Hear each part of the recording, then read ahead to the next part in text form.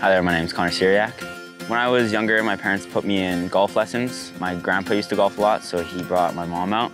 And then they just kind of put me in lessons. They put me in a bunch of sports and just kind of like golf more.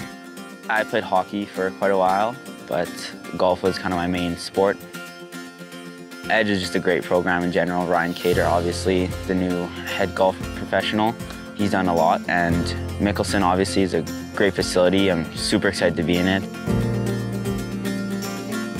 Yeah, I mean, Mickelson's obviously a fantastic course. These facilities are amazing, especially during midsummer. The range is all grass, and the new putting green they're building is ginormous. We just bought a house out here.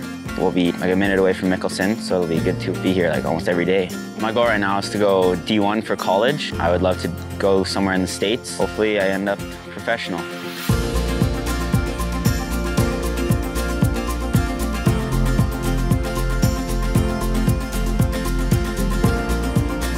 Hey, my name's Nage Dunn. I met an LPGA player last year and she showed me what might the path towards that can be like. I was, I was inspired. I actually love the facilities here. It's honestly the practice facilities that we have. We practice four hours a day. Just the opportunity, honestly, it, it drew me. It was a check yes. And just the facility general is very nice and staff is very welcoming.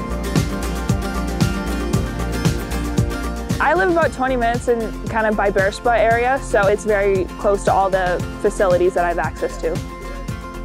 One of my goals is to go to the States on a golf scholarship.